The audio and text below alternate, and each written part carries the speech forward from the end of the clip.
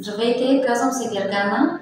От България съм. Вчера дойдох в клиника Естар на преглед.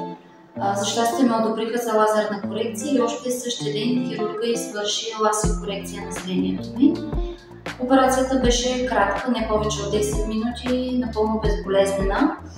След операцията, вече когато опойката отмина, усещах тежест и напрежение в очите, заради това се прибрах в хотелската стая, където се почивах до края на деня.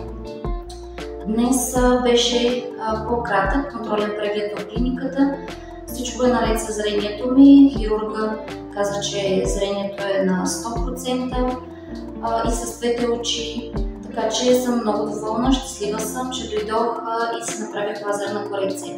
Сега не ми се налага да нося никакви очила, така че ако се чудите дали а, е добре да дойдете тук или не, уверявам ви, че се заслужава.